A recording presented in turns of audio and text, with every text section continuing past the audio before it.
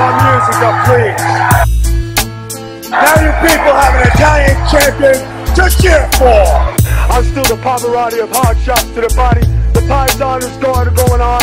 That fly Italian guy from SI. How you doing, people? The Big Vito brand coming to you live, baby, live. Here's the Vito LoGrasso story. Began in the village of Terrasini, Palermo, a great fish town where you learned how to fish and make a living. My grandfather leading the charge with the catch of the day, a very proud man with a very proud family. And as they started this journey, we meet my grandmother. She's from here along with my grandfather, my mother's parents. And as the years went on, my grandfather settled in in America, and my mother was there with her brother and sister. With her brother and sister in check, my father came along looking good, and then we had a marriage. And from the marriage, we had me, Baby Vito. And from Baby Vito, we had Eddie and Larry, the start of a future and a family. Family, that was what we were about always getting together for those times, looking as Italian as can be. My brother and me and my cousin Dawn, along with some other Italian people, my uncle and my grandfather, my aunt and uncle out in Boston, my mother and her sister with my cousin Dawn, always taking some great pictures, and again, my Italian family. Along with my cousins, we always had a great time together growing up and then the reunion in Italy. I had a big family.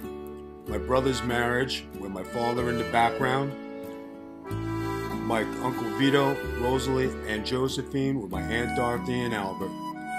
Always a good time. And of course, my mother. I wish she was here to see this. And as I started my journey in wrestling, my father and my brother were behind me. I became a big star in WCW and world champion world champion with Johnny the Bull, the Mamalukes. I traveled the world.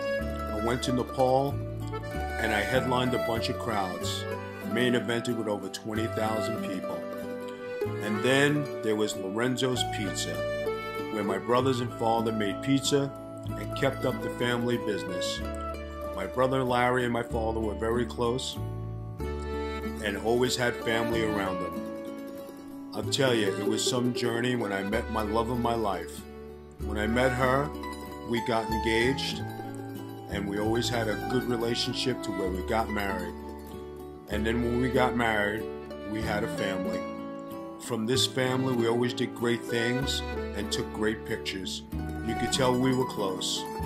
And this is my in laws, another great bunch of people in my life. My little nephew, and then another nephew, and of course my brother Eddie's family, and always looking good.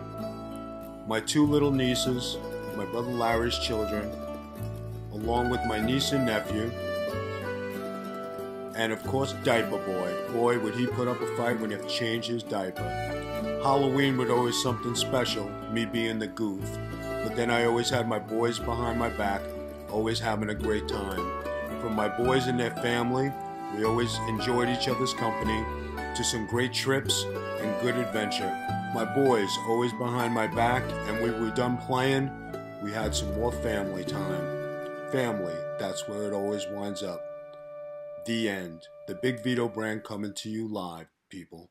Enjoy the rest of the website.